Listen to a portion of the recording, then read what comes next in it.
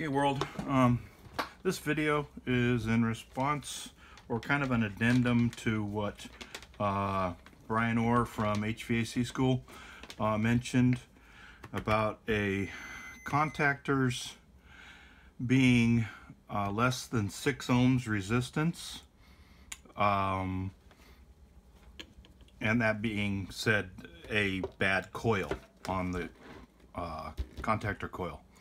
Um, that's uh, not a correct statement. Everything else in the video I said uh, is very good. Um, but this particular contactor right here is uh, a um, 24 volt coil, as you can see. Three pole, there's your Johnstone number, L36697, made by Eaton. There's your, all your numbers. Uh, it's 60 amp contactor. Um, this particular contactor ohms out there's a and you'll see it also it'll tone out here. Uh, you want to go to ohms so you don't get the tone bothering you.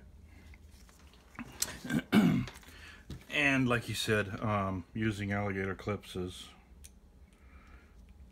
always a good way to go when you're wanting to ohm something so you take your fingers and your body out of the equation. Okay so we'll just put this on the coil. This is a brand new contactor. It does function. I'll show you in a minute that it does function. It's a brand new contactor um, out of the box. Um, and it reads 0.9 ohms. So less than an ohm. And that's a brand new good functioning contactor. I'll show you in just a minute that it does function. I'm going to plug in a transformer. I have a 24 volt transformer right here. Um, and let's test this contactor. So this contactor right here, like I said, is about 0.8, 0.9 or 1 ohm resistance uh, across the coil. Um, I just disconnected it. Okay, so here we go. Okay, basically 1 ohm. Uh, depending on temperature, that can vary. Outside ambient, um, that that can vary. Also, if the contactor was just powered up, or it's hot or cold, or whatever, that kind of thing, uh, can vary. Your res resistance can vary. But anyways, let's uh, let's hook up to the contactor and uh, check our power here and see what we got in the way of power. So let's go to volts. Sine wave, AC volts. Since it's a 24 volt transformer, 115 volt AC coming in, we're going to get 24 volts AC. Somewhere uh, 24 to 29 volts is a good voltage. Um, and so let's check. And I have 26.9. So I like seeing 27 volts on a transformer. That's beautiful. All Everything up to 29 volts is acceptable. Uh, 30 volts will blow up thermostats. So just be aware of that. Um, no load on this transformer is 27 volts. I'm pretty sure 26.8. Depending on your incoming voltage, your outgoing voltage is going to vary. So, uh, all right. So, uh, let's power this up. And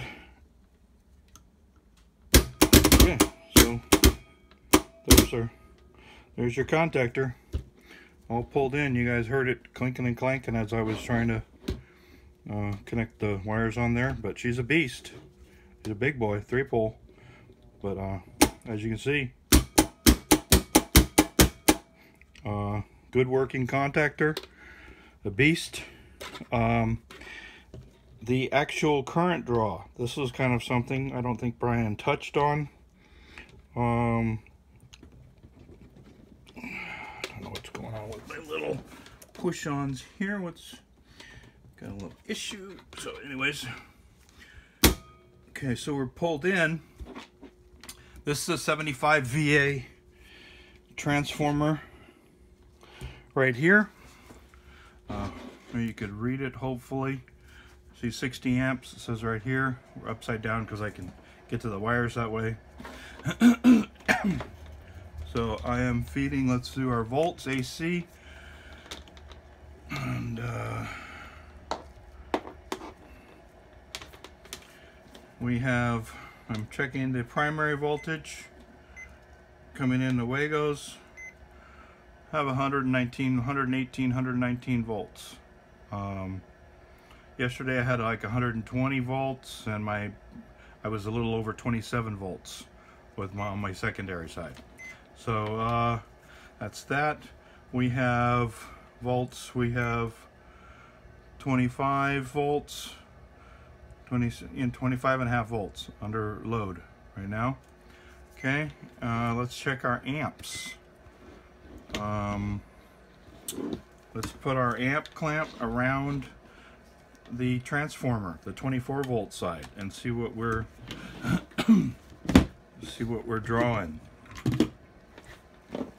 Um, let's go to amps. Amps AC. Remember this is AC. Okay, we're drawing 1.6. See if we can put this all in screen. 1.7 amps on the 24 volt side. Your fuse is pops at 3.2 amps. So if you were to run one of these contactors, you could not run any more than one of these big boy contactors off of a 75 VA would be the perfectly sized transformer for each con contactor big boy like this. If you were to put uh, two contactors on even a 75 VA transformer, this being a fairly large transformer. The standard in the industry is 40 VA, 50 VA on a residential, um, commercial. Um, you're uh, 1.7 you're going to be at uh, 3.5 amps you'd uh, trip that breaker for if you put so he have to use if you were to do this you shouldn't use actually a 24 volt transformer in this application. You should use a 115 volt coil or 230 volt coil. Um, but this was just what I had around and it depends on your application.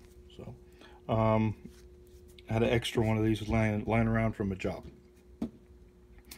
Um, just thought I would like to bring this information to light because uh, Brian had mentioned, like I said, anything less than 6 ohms on a contactor on a coil is bad.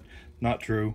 Um, this will, after you use it, and uh, it gets warm and it's been running or whatever, you can actually get probably in the 0.7 or 0.8. Um, we'll do a test on it right now on ohms after we've been working a little bit. And Let's see what we get. Ohms. 0.7, 0.9, so a little bit less. So uh, than your 0.1 that we started out with. So anyways, I just wanted to bring that to light. Um, this is a standard uh, one pole contactor with a shunt across it. That's what they call these, one poles. If you wanted to ask for it in the, in the supply house, it's called one a one pole with a shunt. Or you have a two pole would have a two pole contactor. And this is a three pole contactor. One, two, three. Three places to hook up a load. Okay. Um, so let's ohm out this brand new. This is a brand new contactor. Um, hook this up. See what we get. Ohms. Get about 14 ohms. So uh, we're on there pretty good. So 14 ohms is your standard residential. Uh, this is about a 30 amp or a 40 amp contactor. I believe this is a this is a Eaton. These are the ones that I get at Johnstone. Good contactor. One pole. One pole with a shunt. 24 volt coil, 40 amps. Um, there's your number on it. Or Johnstone number is going to be. I don't there it is. Uh, L45 981 is going to be your Johnstone number. Um, for this big 75 VA, I don't know if I mentioned it. Um, there you go. Uh, Johnstone number L37 310. Um, there's your Packard number on it. 75 VA with a circuit breaker. L37 310. It's going to be 120, 208, 240, or 480 volt. 75 VA transformer. Okay, so we've got that. Um, you can check these if you don't want to use, uh, if you don't have alligator clips. Alligator clips are a really good thing to have. I suit, they are wonderful to have. Uh, but you can, you could kind of do it in the groove. You could do it in the groove here. Um, anywhere in there. And you'll, a lot easier without alligator clips though. You get a lot better reading. Takes your body out of the equation if you were touching something. But uh, 14 ohms. So you're probably going to get, um, so you go. That's just what it, I wanted to bring to light. That uh, one ohm on a coil does not make it bad. Um, basically what you have to do is you have to just ohm a new one and figure out you know what you what you have and what you need. Or uh, write down or, write down in your phone under the notes your notepad section under the notes uh, you can ohm you could start ohming a bunch of new contactors and just have that as a reference issue. Um, like this one I'm gonna write this in my book as 14 ohms. So 10 to 20% in either direction uh, would probably be okay. That's what I would use for a uh, reference point. Uh, over 20% in either in either direction, I would replace the contactor. Um, because something would be going, that would be a good maintenance type thing. Uh, to know what a new contactor should ohm at and then ohm a good used one, it may still be good, but if it exceeds 20% of its original rating, something start it's starting to fail. So you want would want to replace that as a standard operating procedure for preventative maintenance. Okay, uh, that's pretty much all I wanted to say with this video. Uh, click like on the video if you could and subscribe. All right, uh, Take care. Bye.